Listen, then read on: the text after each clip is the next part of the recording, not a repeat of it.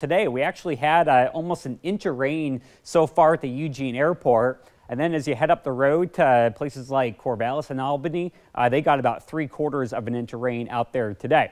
A lot more on the way as we go into tomorrow. I think an additional inch is not out of the realm of possibilities by this time tomorrow night. It is busy out there this evening. Luckily, though, a lot of the heaviest rainfall is now shifting off to our southeast, but behind the front, that's where you get that shift in the wind direction where some of the strongest winds will be pushing on through. As we go into tonight, you'll notice that we continue to get those showers that will move on through the region. It looks like as we go into Wednesday at 9 o'clock at night, again, we're still tracking that heavy snow across the Oregon Cascades. Thursday, we get a little bit of a break, if you want to call it that. And then our next storm comes on in on Friday. Here's Friday morning at 8 o'clock off to the west. Plenty of green showing up on the map, and that's going to overspread the area on Friday afternoon. 1 o'clock, very messy traveling here on Friday. And then as we go into Friday night and Saturday, this is where I really want you to pay attention. We get some colder air with east winds that come in through the Columbia Gorge. And again, where that snow and ice set up will completely be dictated by the track of the low, as I'll explain in one moment. What you're seeing right here, the pink on the map, that is ice potential for Friday night going into Saturday. Look at the time, Saturday at 4 a.m.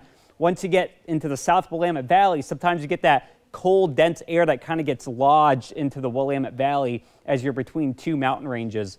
By Saturday morning, again, you get that warmer air that kind of overspreads the region, and that should allow that flip flop back to all rain as we go into the afternoon hours. Let's talk about some of the possible tracks here because this low pressure system can take one of two tracks.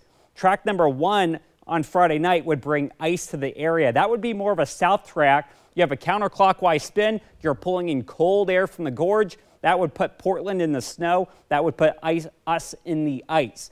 Let's talk about track number two. So here's track number two. That would be more of a northerly track. We would be in the warmer side of the low. That would keep us all wet and rainy here. That would put Portland in the ice and put the snow in southern Washington. So again, we're still a few days away, so this definitely can and will change between now and then. The one thing I can promise you, though, the cold is on for the middle of next week. We get a southerly branch of that jet stream that dips all the way down to southern Oregon, and it gets cold as we go into Monday and Tuesday as we'll drop down into the middle end of the 20s. Excuse me. As we get a look here at the seven day forecast, generally speaking, Sunday, Monday, and Tuesday, things do improve. It looks like high pressure builds back in and things will be drying up just a little bit. Down in the Umpqua Basin, temperatures will stay on the chilly side. Blizzard conditions are expected here across the Cascade Passes.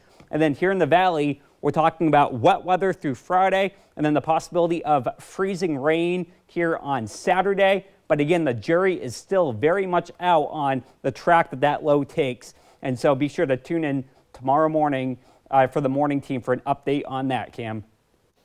Next on KEZI 9 Sports, a little mini round ball wrap as an action-packed night in high school basketball takes over. KEZI 9 News is sponsored in part by